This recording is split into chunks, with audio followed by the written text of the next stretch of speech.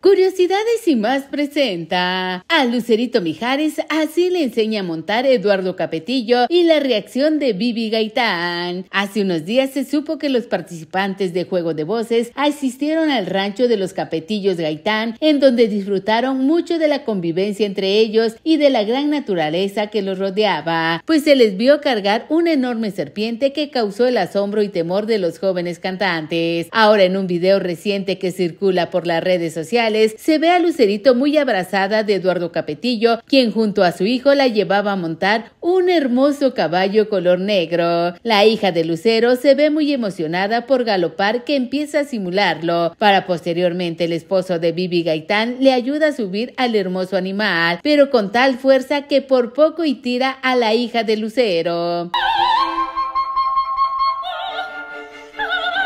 Viéndose también muy atento a Lalo, acomodándole sus riendas mientras Bibi le echaba porras y le aplaude y le dice...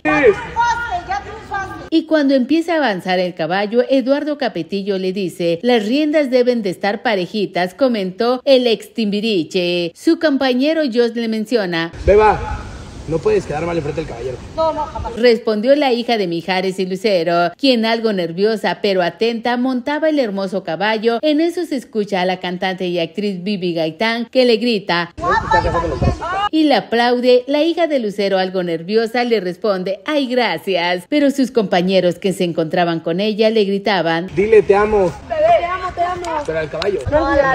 Comentaron riendo Joss, entonces la hija de Mijares escucha decir, te amo, te amo dijo riendo. En ese momento Lalo Capetillo le da indicaciones.